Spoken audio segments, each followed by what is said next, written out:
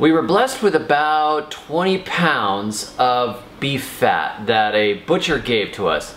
And this is good grass-fed stuff. And so we're gonna render it down into beef tallow, which is a fantastic cooking oil.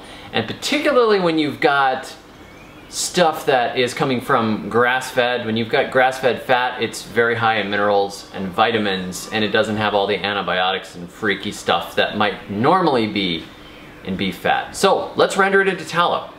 Ready? Let's go.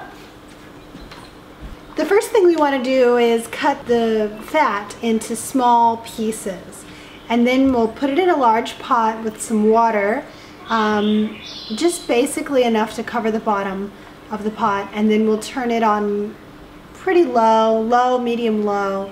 And you just, you want this to be a very slow process. You don't want to end up with brown bits of fat. You want it to, to just heat up and release all the fat into the pot. And the water is just there to keep it from, from scorching at the bottom. We're going to use a really large pot on the stove for this. You can do this in the crock pot. We've had really good success doing that. You can also do it in the oven. We've done that, but I honestly can't remember the uh, temperature that we did that at, but it worked well. It just, the downside of that is it heats up the whole house because it's the oven. Crock pot doesn't heat up the whole house. It's probably the method that heats up the house the least.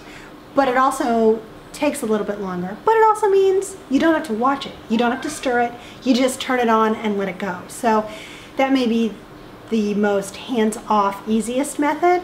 But it also, I guess the downside to that is you can only do as much fat as your crock pot will hold. Uh, today we're just going to do it on the stove and we'll show you how we do that.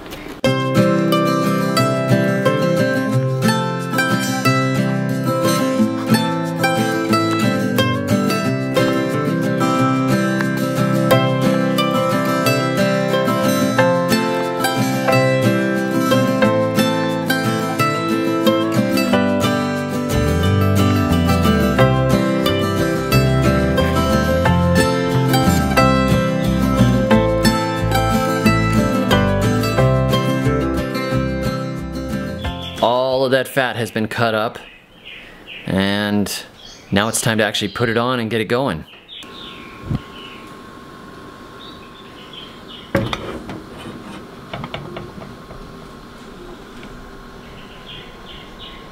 Now we're going to pour some water in it so that the fat doesn't scorch on the bottom.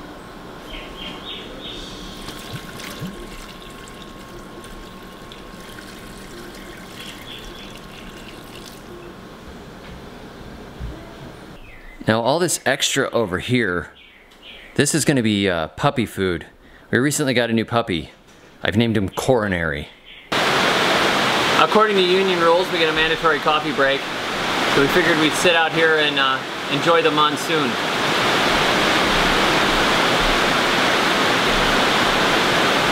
We'll get back to the fat in a moment. Just wait a minute. Be patient. It'll take all day anyway.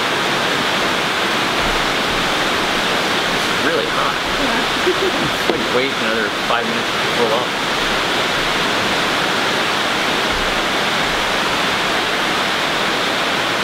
It's only been maybe 10 or 15 minutes, so see how it looks already. You can see I, I'm keeping it at sort of a, a simmer, but look at, I didn't pour that much water into it, so obviously this is the fat rendering out.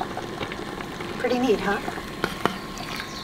You can see how the pieces that have already started to cook have turned sort of a yellowish color, whereas the pieces that were at the top are still raw looking.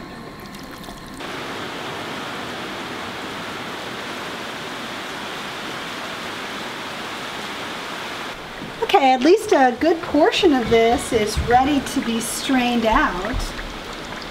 So we're going to do that.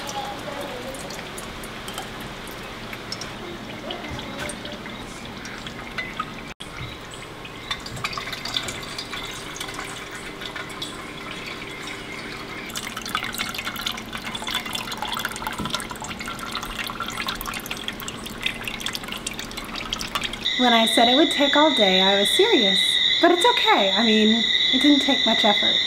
And what we get is free, almost free, except for the time we put into it, cooking oil. So it's later in the day and um, it's ready to be poured into jars.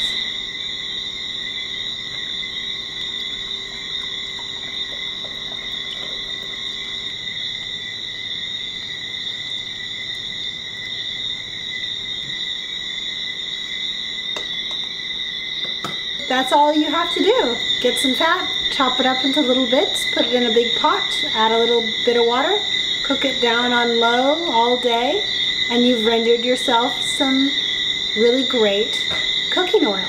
Be sure to like and subscribe and visit us on the web at thesurvivalgardener.com. And until next time, keep rendering.